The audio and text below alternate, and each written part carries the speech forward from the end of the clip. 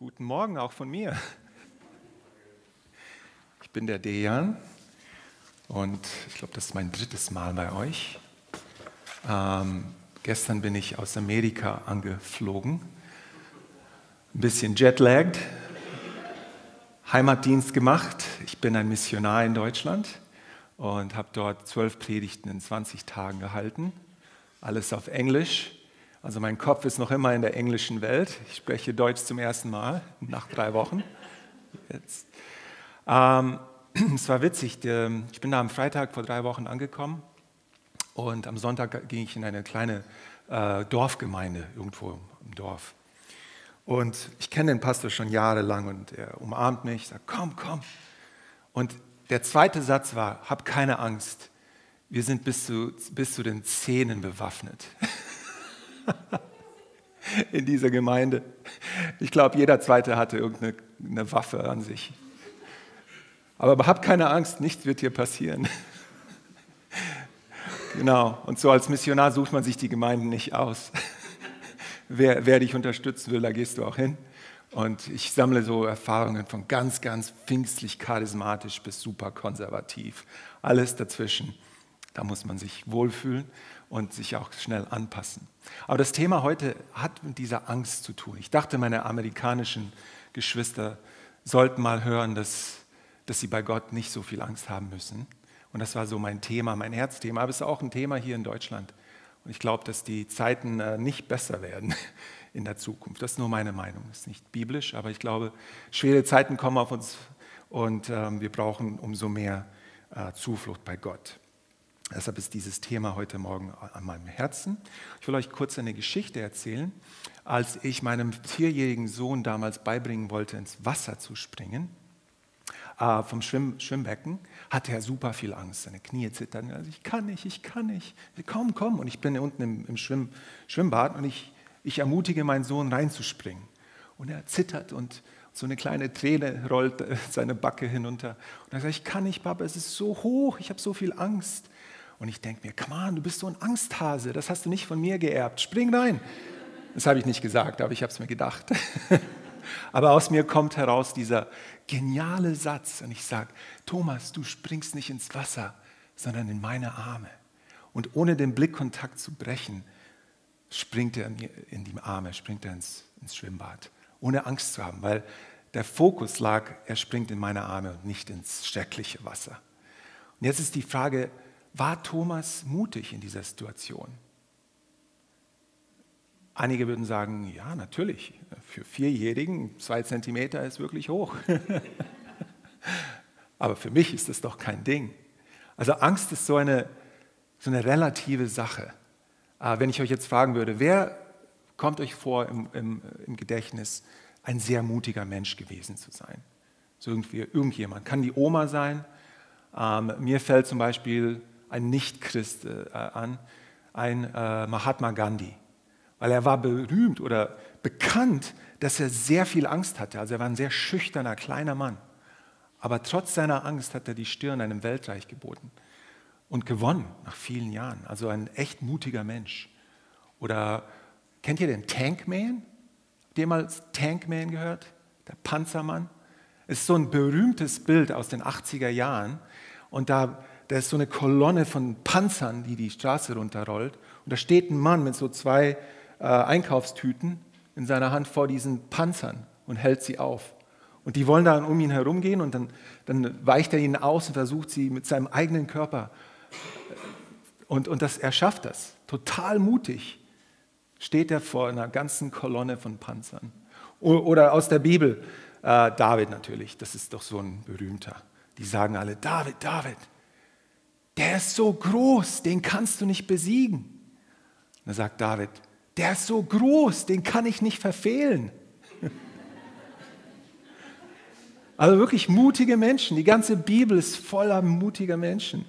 Und ich denke mir, Mensch, wenn ich mich mit denen vergleiche, huh, ich bin sicherlich ein, ein Angsthase. Ja? Ich, ich habe nicht so viel Mut wie diese, diese mutigen Menschen. Und, und wie kann ich mutiger werden? Wie kann ich oder besser gesagt, inmitten meiner Angst, wie kann ich mutig sein? Weil die Angst ist, eine, äh, ist menschlich. Ja? Wir, wir werden immer Angst spüren. Das ist eine ganz normale Emotion. Und besonders, du hast es heute gut erwähnt, Kriege, Seuchen, China. Äh, ich habe gegoogelt in Amerika, die Nummer eins Angst, das, das Ängstlichste für die Amis ist, werde ich genug Geld haben in der Rente? Hat mich gewundert. Ich dachte, Tod. Aber nein, Rente.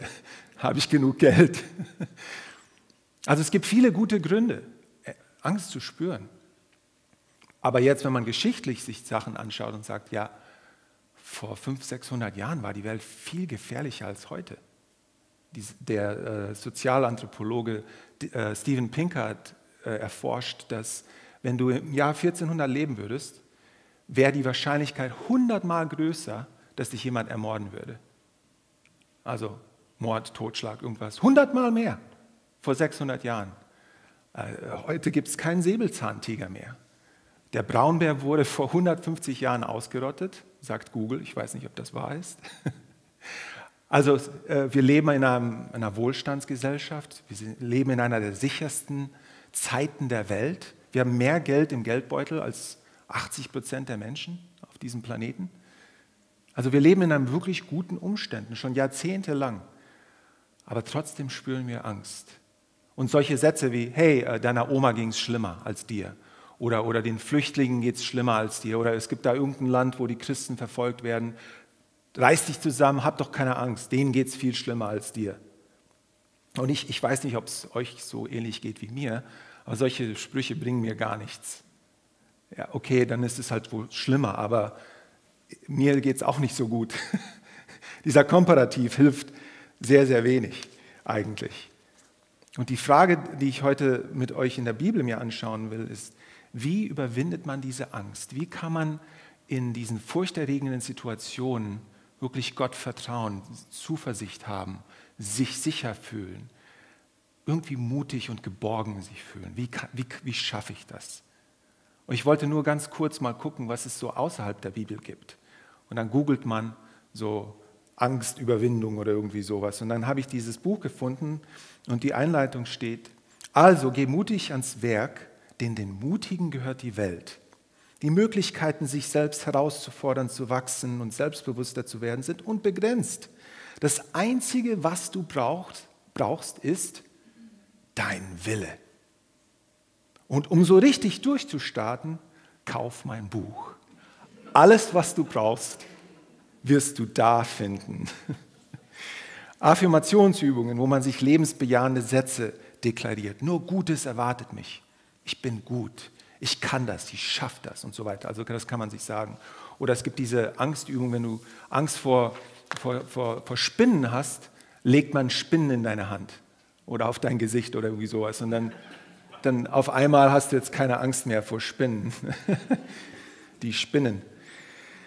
Aber was sagt die Bibel zu diesem ganzen Thema? Weil in diesen Affirmationsübungen, alles, was du siehst, wirst du, wirst du das Wort Ich sehr, sehr oft sehen. Ich kann es, ich werde es, ich habe die Kontrolle, ich habe die, die Stärke, die Kraft und so weiter. Das ist ganz typisch. Die Welt sagt, du kannst. Die Bibel sagt, du kannst nicht, aber ich kann. Und ich habe es auch für dich getan. Amen. Und das Beste, mein Pastor, mein damaliger Pastor hat gesagt, wenn ich auf einer verlassenen Insel wäre und nur ein Buch aus der Bibel in meine Richtung schwimmen könnte, dann wäre es Genesis, 1. Mose. Nicht Johannes, nicht Lukas, aber mein Pastor liebte 1. Mose. Das war sein Lieblingsbuch in der Bibel. Sagt, alles fängt da an und alles kann man da finden, was sich dann später entwickelt, weiterentwickelt. Und ich will euch fragen, wo kommt das Wort Angst zum ersten Mal vor in der Bibel? Mocht, irgendwo muss es doch anfangen, ja? Es gab einmal eine Zeit, wo es dieses Wort nicht gab. Und dann kommt es vor. Zum ersten Mal auf der dritten Seite in der Bibel. So früh kommt Angst schon vor. Also es gibt viele Wörter, aber dieses Wort kommt ganz, ganz früh vor. Erinnert ihr euch, was passiert ist? Gott schöpft die Welt, macht Adam und Eva, alles ist gut, alles ist super, die haben eine tolle Beziehung zueinander. Gott sagt, ihr dürft alles machen, alles, absolut alles, just, nur nicht diese eine Sache. Bitte nicht diese, diesen Baum anfassen. Ist das okay? Wir können alles andere haben. Und was sagt Adam und Eva? Nee, wir wollen diesen Baum anfassen. Wir wollen genau das tun, was du uns gesagt hast, dass wir nicht tun dürfen. weil wir Gott sein wollen. Die Ursprungssünde der Menschheit ist, ich will Gott sein. Ihr könnt, fragt mal nach. Alles andere ist untergeordnet in dieser einen fundamentalen Sünde. Ich will auf dem Thron sitzen. Und soweit ich Gott kenne, teilt er seinen Thron mit niemandem. Oder? Gott sagt nicht, okay, hier ist noch ein bisschen Platz. Ich, ich, ich, komm, setz dich. So, eine Hälfte. Na, das geht so nicht, ja? Gott teilt seine, sein, seinen Thron mit niemandem. Und Adam und Eva, die wollten einfach Gott werden. Sagen, nein, ich will die Kontrolle behalten. Und jetzt lese ich, was hier passiert. Plötzlich, nach dieser Sünde, gingen beiden die Augen auf. Und ihnen wurde bewusst, dass sie nackt waren. Hastig flackerten sie Feigenblätter zusammen und machten sich daraus ein Kleid. Am Abend, als es kühler wurde, hörten sie, wie Gott der Herr im Garten umherging. Und jetzt kommt das Wort zum ersten Mal. Ängstlich versteckten sie sich vor ihm hinter den Bäumen. Was für ein guter Plan. Gott. Aber Gott, der Herr, rief nach dem Menschen. Ich liebe es, wie die Bibel wirklich den Menschen versteht. So wirklich tief. Psychologen brauchen hunderte von Jahren, ein Prozent zu verstehen. Und in der Bibel ist alles so deutlich. Gott, der Herr, rief nach dem Menschen und sprach zu ihm. Und jetzt ist die, die, die, die traurigste Frage in der ganzen Bibel. Wo bist du? Manche Übersetzungen sagen Adam, wo bist du? Wo bist du? Wo bist du? Was für ein trauriger Satz, oder? Und ich frage mich, wieso hat Gott diese Frage gestellt? Weiß er nicht, wo Adam ist? Muss er jetzt wirklich hinterm Baum gucken? Adam, wo bist du? Ich, der, der, der Schöpfer des Alls, des Sichtbaren und des Unsichtbaren, muss nachfragen, wo bist denn du? Also ich glaube nicht, dass Gott jetzt hier Informationen braucht, oder? Also ich glaube, dass es hier um eine Frage geht, wo er will, dass Adam sich selbst diese Frage stellt. Wo Adam sagt, ja, wo bin ich denn? Ich verstecke mich hier hinter einem Baum. Ich bin nackt. Eine Selbstanalyse, ja, was mache ich denn hier? Es war doch so gut, fünf Minuten davor war alles super. Und jetzt verstecke ich mich hier hinter diesem Baum nackt. Es ist eine schlechte Situation, in der ich mich hier befinde, oder? Und dann antwortet Adam auf diese Frage, wo bist du? Hier kommt die Antwort. Ich hörte deine Schritte im Garten und hatte Angst, weil ich nackt bin. Darum habe ich mich versteckt. Also wieso hat Adam Distanz von Gott gesucht? Wegen, wegen, wegen seiner Ontologie, wegen seinem Wesen, das gefallen ist. Sein Wesen als Mensch ist nicht mehr heilig. Und nur das Heilige, Heilige kann in die Gegenwart Gottes kommen. Also Adam aus Angst vor, vor was er ist, was er geworden ist. Ein sündhafter Mensch, ein gebrochener Mensch, ein gefallener Mensch. Ontologische Verfallenheit nennen das die Theologen. Also ein Status, wo der Mensch komplett tot ist. Er ist tot.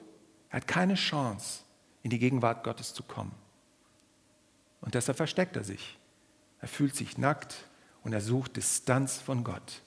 Distanz von Gott ist ein Ausdruck der Angst. Und umgekehrt, Angst wird ausgedrückt, indem wir uns von Gott distanzieren wollen. Also das ist mein, meine Hypothese, die werden wir gleich prüfen in der Bibel, aber meine Hypothese ist, ein Ausdruck unserer Angst ist Distanz von Gott. Und dann denke ich mir, wenn das der Ausdruck von Angst ist, dann könnte es auch vielleicht wahr sein, dass je näher ich zu Gott komme oder je näher ich bei Gott bin, desto weniger Angst habe ich. Meine Angst schmilzt weg, indem ich die Nähe zu Gott suche. Wir schauen mal, was die Bibel dazu sagt. Je näher bei Gott, desto weniger Angst. Ich habe mal nachgeguckt im äh, Alten Testament wie oft diese, dieser Satz vorkommt. Hab keine Angst, Komma, denn ich bin bei dir. 456 Mal. Was sagt dir das über den Menschen? Gott sagt ständig, ich gebe euch nur ein Beispiel, ich hätte, ich hätte buchstäblich 20 in 20 Minuten aufschreiben können. Also so viele gibt es.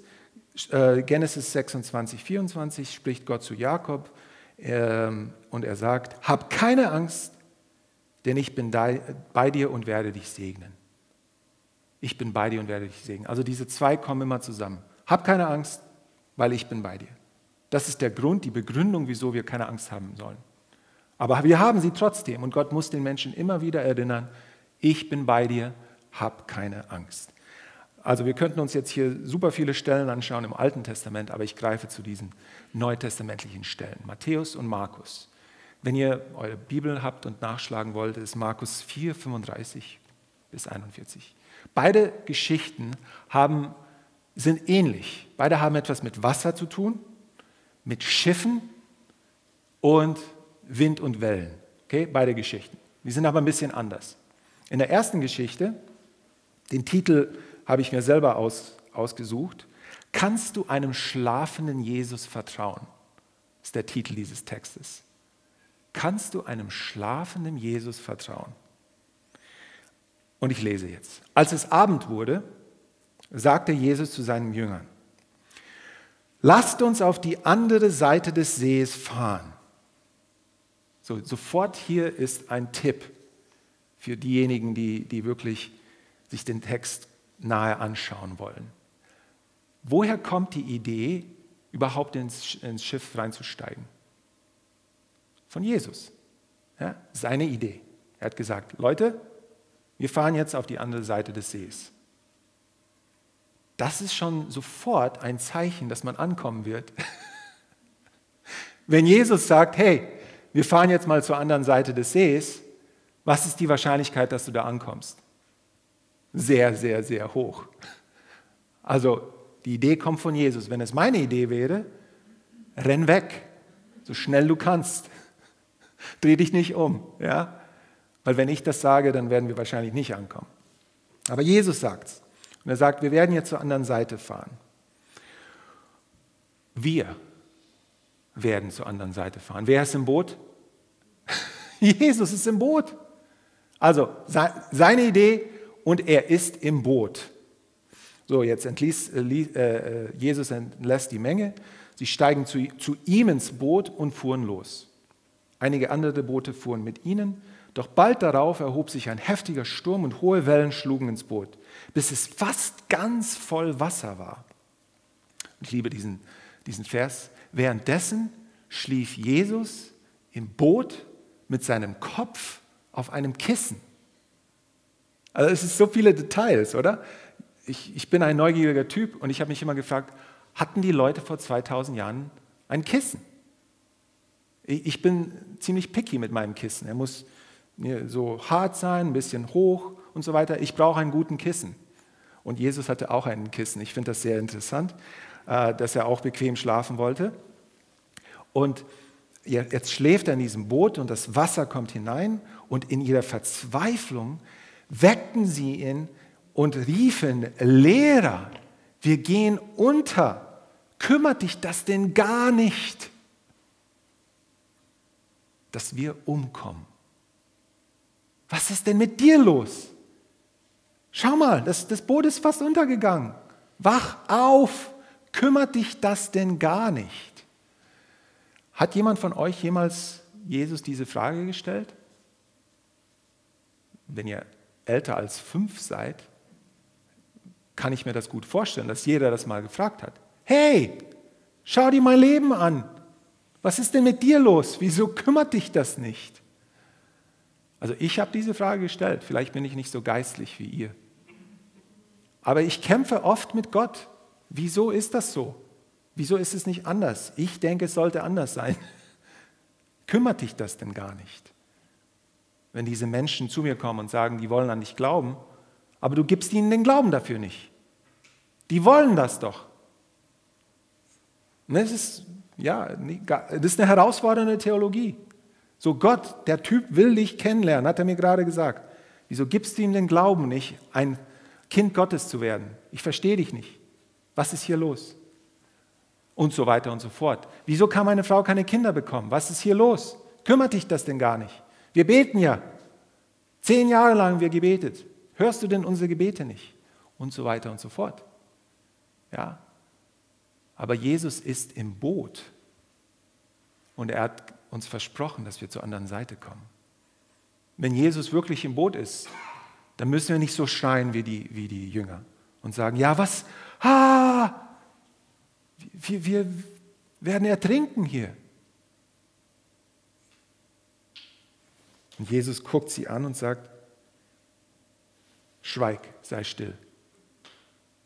Sehr, sehr kurz hätte eine lange Sache sein können, aber nein, aber nur schweig, sei still. Drei Wörter. Und das, der Sturm legt sich und es herrscht tiefe Stille und Jesus guckt sie an und sagt, warum habt ihr solche Angst? Fragezeichen. Warum habt ihr solche Angst? Ich bin doch im Boot. Ich habe euch doch gesagt, dass wir auf die andere Seite kommen. Warum habt ihr solche Angst? Habt ihr immer noch keinen Glauben? Voller Furcht, das ist jetzt ein anderes Wort. Angst, das Wort Angst hier ist das griechische Wort Phobie, eine Phobie haben, Arachnophobie und so weiter. Äh, und das ist jetzt eine andere Art von Angst oder Furcht, es ist Gottesfurcht. Voller Gottesfurcht sagten sie, wer ist denn dieser Mann, dass ihm sogar Wind und Wellen gehorchen? Und das ist hier noch so eine kleine Sache. Oft ist auch diese Angst damit verbunden, dass wir Gott nicht kennen. Weil oft muss Gott sich rechtfertigen und sagen, hey Leute, ich bin der Gott eurer Väter, der euch das und das und das und das für euch gemacht hat. Habt keine Angst. Ja? Oft muss er uns erinnern, wer er überhaupt ist. Und diese Jünger, die schauen sich Jesus an und sagen, wer ist denn dieser Mann, dass ihm sogar Wind und Wellen gehorchen? Die haben vergessen oder die wissen noch gar nicht, wer er ist. Deshalb würde ich euch nur ermutigen, es ist nicht nur Intimität zu Gott, sondern auch wissen, wer ist denn dieser Gott, mit dem ich Intimität suche? Hat er die Kontrolle über mein Leben? Kümmert er sich über, über, überhaupt? Oder ist es ihm egal, dass ich hier ertrinke? Ich glaube, wenn Bo Jesus in unserem Boot des Lebens ist, können wir sicher sein, dass wir auf die andere Seite kommen werden. Jetzt noch eine Geschichte. Eine ähnliche Geschichte. Hat auch etwas mit Wind und Wellen zu tun. Du hast sie heute gelesen. Deshalb mache ich es ein bisschen kürzer.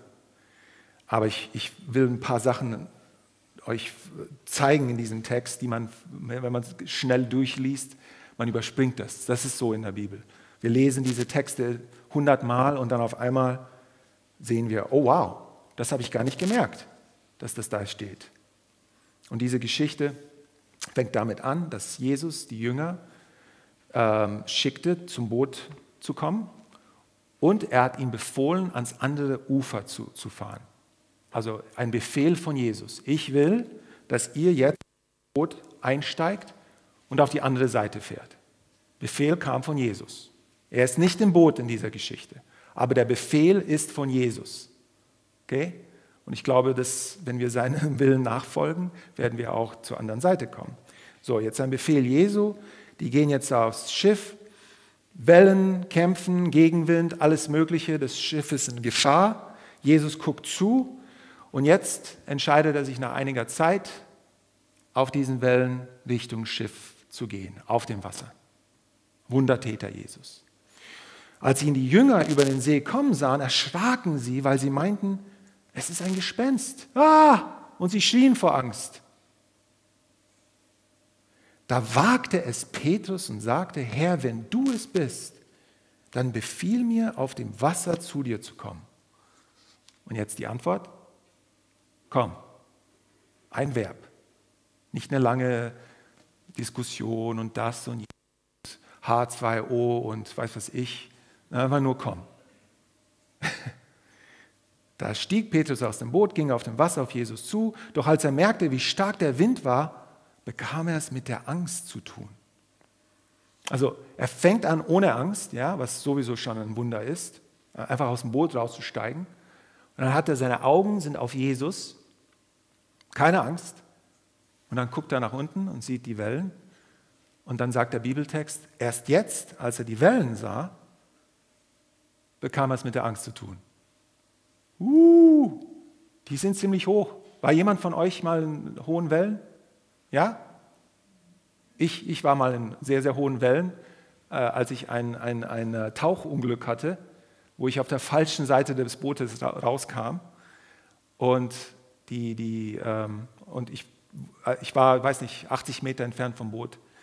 Und ich dachte, die haben mich nicht gesehen. Und die Wellen waren sehr, sehr hoch. Ich war 18. Und das war das, der nächste Moment meines Lebens, wo ich wirklich dachte, ich werde sterben.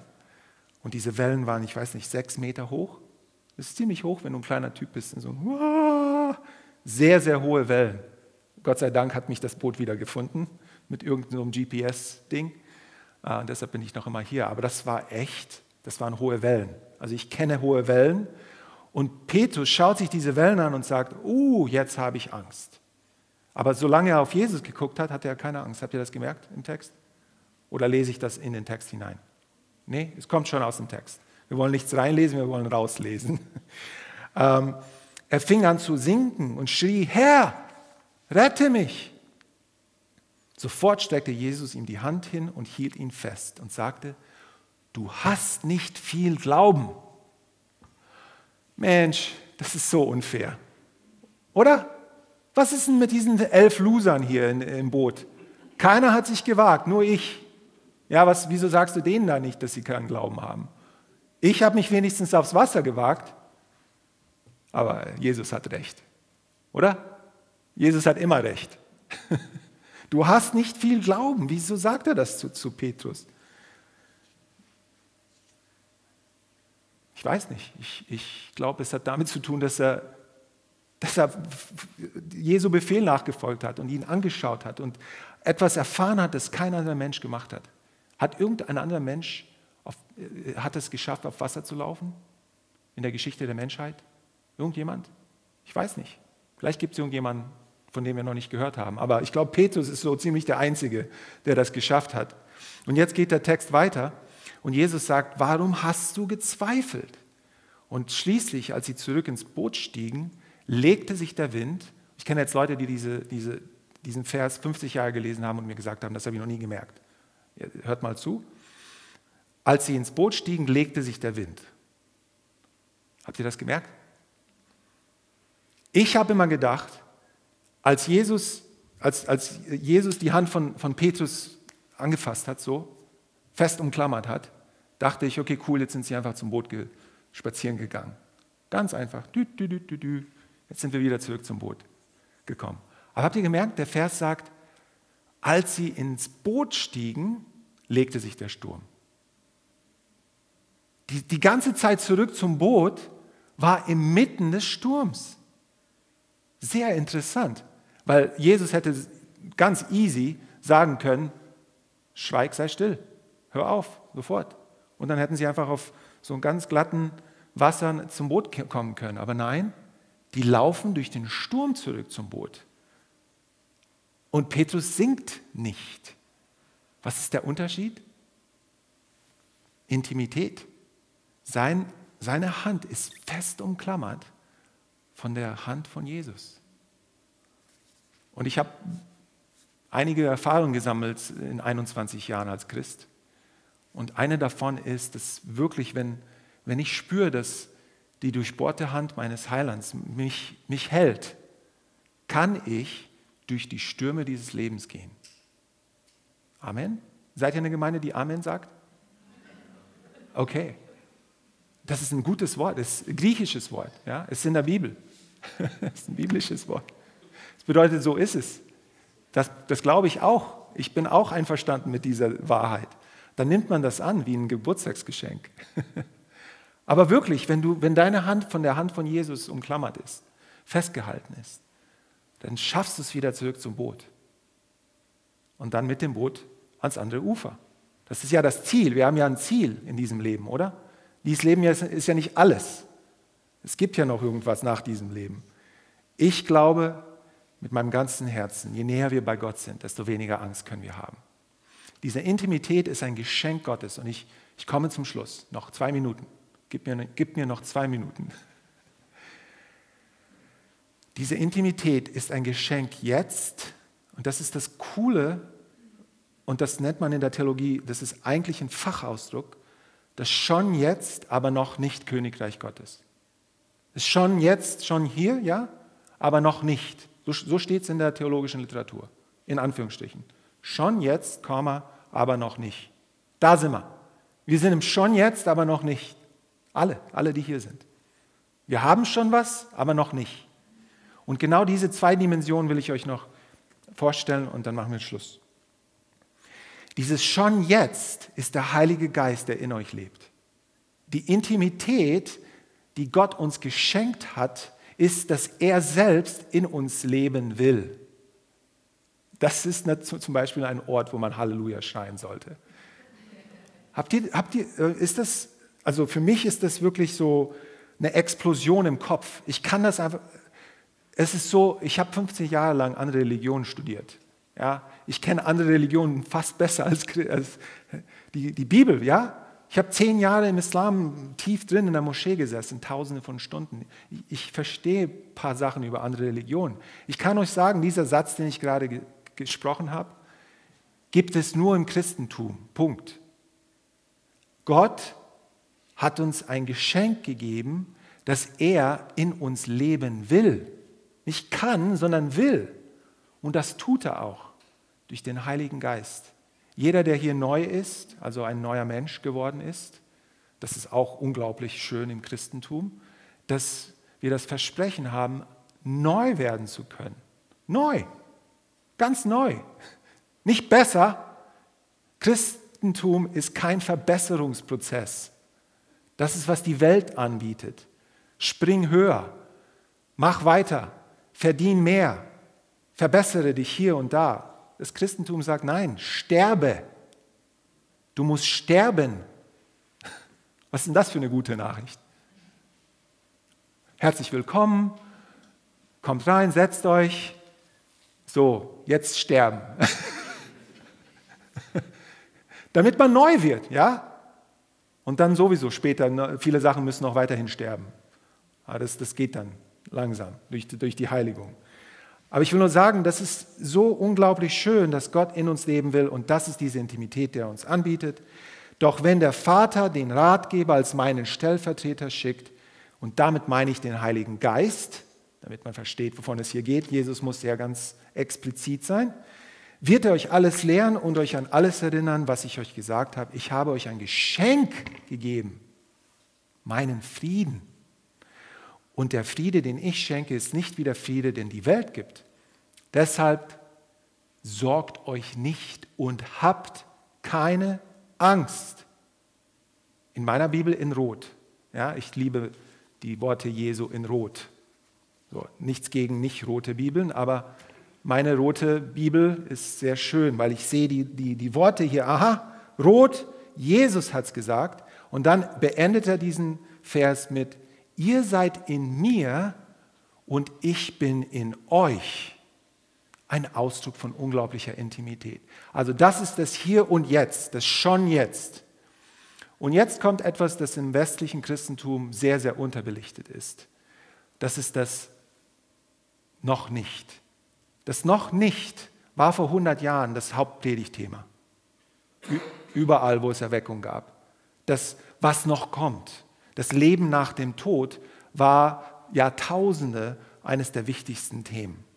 Wir, wir reden davon fast kaum. Was uns noch erwartet nach dem Tod? Auf, auf was geht dieses ganze Ding hin? Was ist das Ziel? Jesus wird zurückkommen. Hoffentlich glaubt ihr das. Also er wird zurückkommen. Er wird uns zu ihm nehmen. Ja, das ist das Ziel. Und Christen haben Jahrtausende diese, dieses Ziel, dieses danach, das Leben danach betont. Und wir tun das nicht mehr im Westen. Wieso? Erstens, weil wir super lange leben. Zweitens, weil wir super viel haben. Und weil das Leben einfach super gut ist. Aber wenn du mit 40 stirbst und jeder hat einen Krieg, wenigstens einen Krieg ein paar Seuchen erlebt, dann willst du auch aus diesem Leben so schnell wie möglich raus und dieses Versprechen annehmen, das Jesus uns gibt. Ich lese euch vor, was er gesagt hat. Seid nicht bestürzt und habt keine Angst. Wieder in Rot.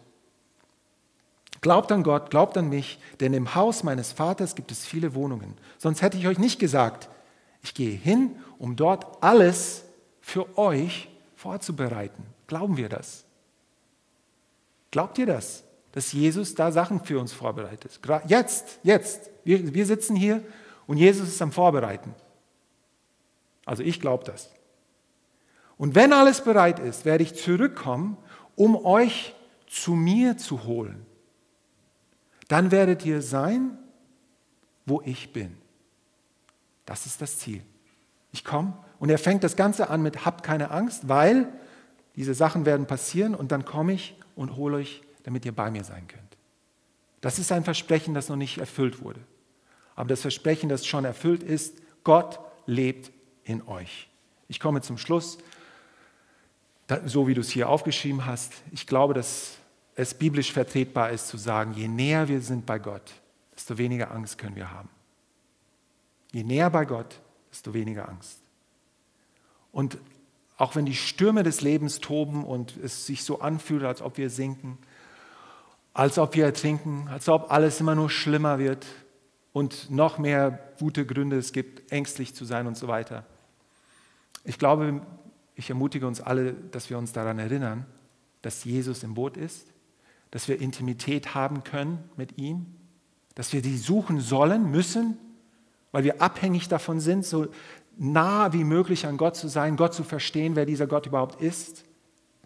Und ich glaube, in dieser, dieser aktiven, intentionalen Suche nach Intimität zu Gott, ich glaube, das ist ein Zufluchtsort, der uns helfen wird in diesen Tagen, die noch bevorstehen und auch schon da sind, teilweise. Deshalb habt keine Angst, denn ich bin in euch und ihr seid in mir. Und ich ende mit dem letzten Vers, den ich euch vorlesen will, auch von Jesus, Kapitel 16, Johannes, Vers 33, weil es so, er bringt es so gut auf den Punkt. Hört zu. Ich habe euch das alles gesagt. Wieso? Damit ihr in mir Frieden habt. Sucht keinen Frieden hier draußen. Ihr werdet ihn nicht finden. Jesus sagt, die Location, der Ort des Friedens ist wo? Weil ihr in mir Frieden habt. Ihr, wisst ihr, Intimität in mir, du musst in Jesus sein, um diesen Frieden zu erfahren. Hier auf der Erde werdet ihr viel Schweres erleben. Aber habt Mut, ich habe die Welt überwunden. Amen. Ich bete noch. Himmlischer Vater, ich danke dir für dein Wort, deine Ermutigung, für uns alle heute Morgen. Und ich bete wirklich, dass meine Geschwister sich das zu Herzen nehmen und in diesen Tagen, die noch bevorstehen, wirklich deine Gegenwart suchen und sich daran erinnern, dass nur in dir können wir Frieden erfahren. In dieser Welt erwartet uns viel Schweres, aber in dir haben wir Frieden, haben wir Zuversicht, Sicherheit, Geborgenheit und auch Mut in schwierigen Zeiten. Segne jeden Einzelnen und erfülle uns mit deinem Geist. Im Namen Jesu. Amen.